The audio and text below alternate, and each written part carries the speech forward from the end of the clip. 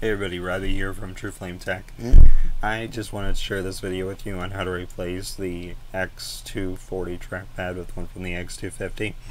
I apologize this video is not terribly concise. I want to hit a lot of points, things you should know, mm-hmm. because some of you may be considering ordering the X240.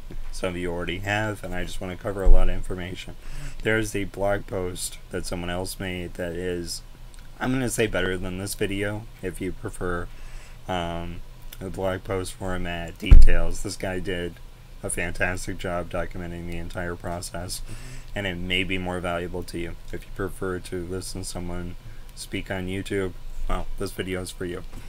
So I'm going to go over some of that right now. Um, the this mod, I'm going to start with what you should do, um, and of what I did. I'm going to explain the process as I go along and try to get some detail in there from that blog post and from things that I just know from going through this myself. Um, if you want a TLDR, it's this. The X240 is a fantastic machine. Um, there is that downside of that trackpad though, and it's a really bad trackpad in the Reddit ThinkPad community. call it the Clunkpad. Um, in Windows, it's fine for the most part. The the newer drivers um, support, you know, the three finger up gesture for the expose in Windows, um, and the trackpad in general is isn't too terribly bad, unless you want to use the track point. Now, the track point is fantastic. Highly recommend its usage, and it's not really a ThinkPad almost without it because um, the track point allows for subpixel movement is literally more accurate than any mouse unless you're going for like a Cintiq um, or a Wacom you know attachment for moving and even then I think you can move it even better than you can move a pen um, the track point is fantastic that's it if you're only using the trackpad on the X240 it's not terrible it is loud so you'll if you press it to click um, it's gonna be loud. I mean, it's it's it's irritatingly loud, especially on the my T440S that I had. Oh my, the whole 40 generation of the ThinkPads, um, and uh, the S1 Yoga had this trackpad. It's just really loud, and it makes the track point uh, difficult to use. Not impossible, but maybe impossible consistently to, to to make it be used as a button. Now, in Windows at least, you can change the driver to only use the track point and not use the trackpad at all, in which case the entire trackpad becomes a button. Mm-hmm. Um, and it's fine. In Linux, I don't know. Maybe. I, didn't try it in Linux. Um, I imagine it would be a lot more difficult to make it only uh, a button to use with the track point. In Windows, it's totally possible to use it only the whole thing as a button it's going to be pretty much impossible to use one-handed, like some people are able to do with their finger and thumb. Um, but doable, I suppose. Uh, so that these are all considerations you have to keep in mind. Now, with Windows, again, like I said, the trackpad isn't too bad with the latest drivers. In Linux, on the other hand, it's pretty bad no matter what you're trying to do with the thing because when you depress the button, the pad, your finger's going to move a little bit. Now, the Synaptics driver in Windows accounts for that, but Linux it doesn't. So you're going to click where you don't mean to click. And you're like, well, that's not, that's not a big deal, Robbie. I'm just going to use tap to click. Well, sometimes the mechanism is so sensitive, you literally can't tap to click. Your finger's going to move on the trackpad a little bit. Mm-hmm. It's going to register it as a, a depress of the touchpad mm-hmm. and it's just a pain in the butt. Now you can do certain things in Linux to make it less of a pain in the butt, mm-hmm.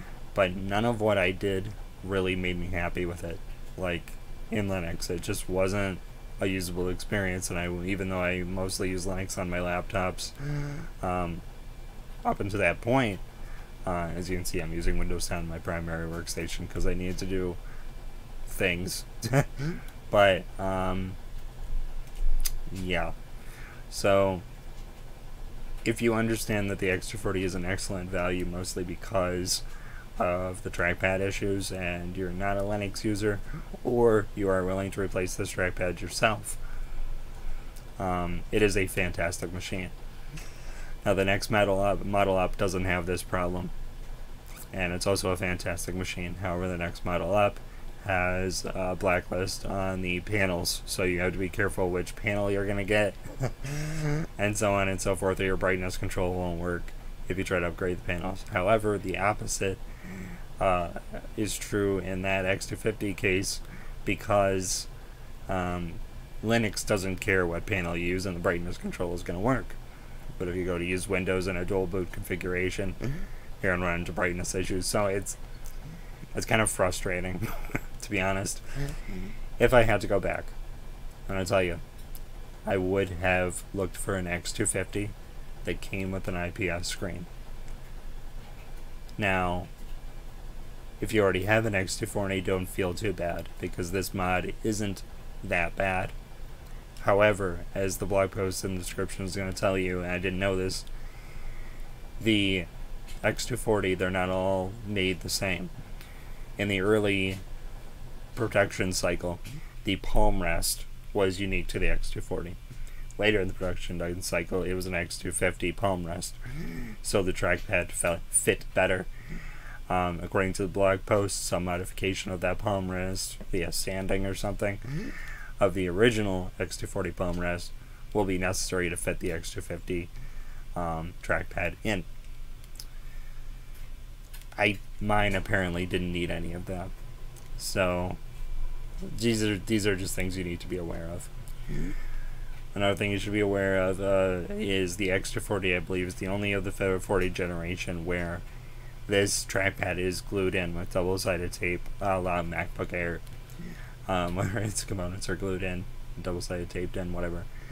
Um, which makes this easy in a sense, but also you are you're gonna break something. Now, the only thing you should be needing to break here if you're careful enough. It's not too bad. I'm kind of overblowing this a little bit just so people know what's possible, know what their options are. I'm trying to I know this is this video is for replacing the trackpad. I just want people to know who are going into the purchase what's necessary.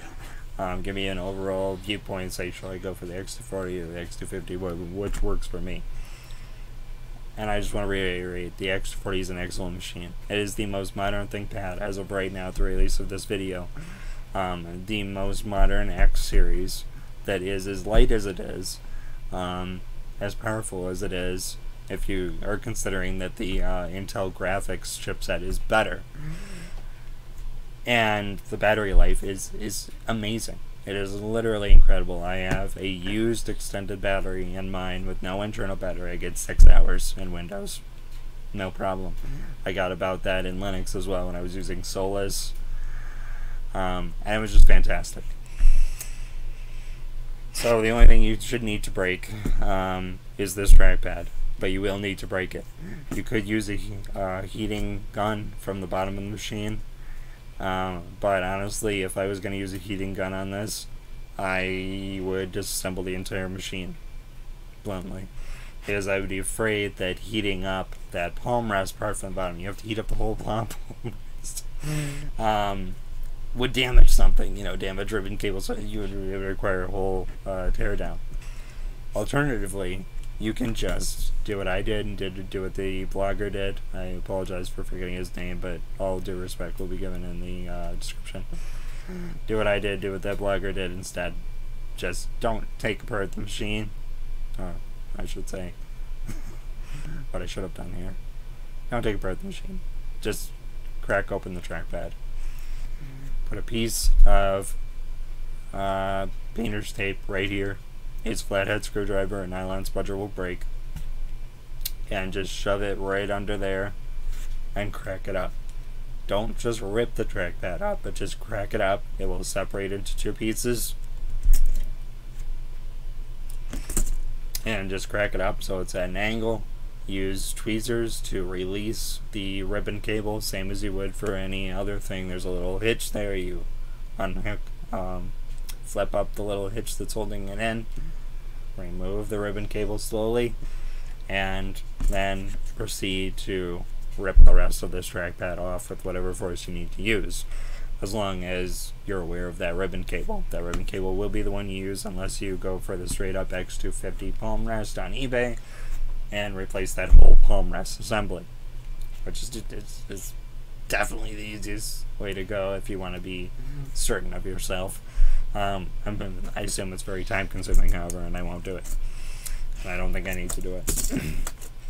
um, so once you crack that off, the next part that needs to come off, as you can see to my left, I suppose, is this.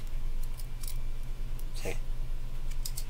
That's the bottom half of this trackpad, uh, this X240 trackpad. That has to come off as well. It's going to take effort. It's going to sound really nasty when you're doing it. You're going to worry that you're breaking it. Just try to pry it up. It's double-sided tape along the edge. Um, just pry it up. Now, you can use the existing double-sided tape in there. Mine had enough adhesive to hold it in. Uh, it does move around a little bit, but honestly, it's not enough to bother me. And you know, I really hate to to say all this detail. I'm understanding. I understand that people will say, "Robbie, you're overblowing this process." I did it, and it's not as bad as you make it sound. It's not that bad. But to people who may be doing this as their first laptop part replacement, I want them to be aware of what they're getting into so they aren't disappointed. Um, it is an excellent, fantastic machine. If you're willing to do these mods, like I said, or you don't feel the need to do them at all, this laptop is impossibly cheap. It's like getting something better than a MacBook Pro for donuts. you know, it's just like it makes no sense. I got this one fully specced out, uh, almost um, for around 225, something around there, and they're going to be cheaper soon, undoubtedly, um, with the release of the new um, eighth generation Intel chips with six cores, basically standard, and the new Ryzen um, A series ThinkPads, and uh, not to mention the new L 3 series and the new X3 series that are like 13 inches and they're yogas. I mean, I mean, those are competitively priced as well, but nowhere close to this. And you can get these for just over a hundred dollars if you don't care what the specs are. And you have your own RAM, you have your own SSD. Um, just amazing. The battery life is incredible. So that's I'm going to show you more of what I did here. Sorry if that I'm just droning on. Um, 12 minutes, just like my last attempt at doing this video. Um, so yeah, this is what it should look like after you pry up this part successfully. Just be careful of that little ribbon cable. Start reseating that X250 trackpad over the top. Use your little tweezers and just shove it in there. It's going to take some time. Be careful not to pinch the ribbon cable too hard. Um, Otherwise, of course, you can, you may break it. So, but if you've dealt with ribbon cables, if you've dealt with computer hardware before, this shouldn't be too hard. Honestly, it's really not that difficult if you've dealt with laptops before. Um, it is more irritating than I wish a ThinkPad would be. Uh, as we all know, after the third, uh, 30 generation, everything got harder to repair and upgrade, but this is not too bad, especially when it comes to um, comparing it to other laptops like MacBook Pro um, repairs. Those are virtually impossible on the newer generations. Things are soldered, um, keyboards riveted. Go watch uh, Louis Rossmann's channel on YouTube if you want to see even more how fun that is. Um, I won't even attempt to repair anything past 2015 with the MacBooks. So, good luck Hope this video gives you all the information necessary to make a good decision on whether you should purchase an X240. Um, or if you have an X240, it gives you all the information necessary to replace the trackpad with the much superior one on the X250. Um, again, I just want to end in saying this is a fantastic machine. It's not that bad. Um, and I, I strongly recommend that you get it if you are on a tight budget and you need something extremely modern. Uh, as I tell everybody, if you are buying these used ThinkPads, be aware you may need to get a new battery, but they run like 40 50 bucks, somewhere around there.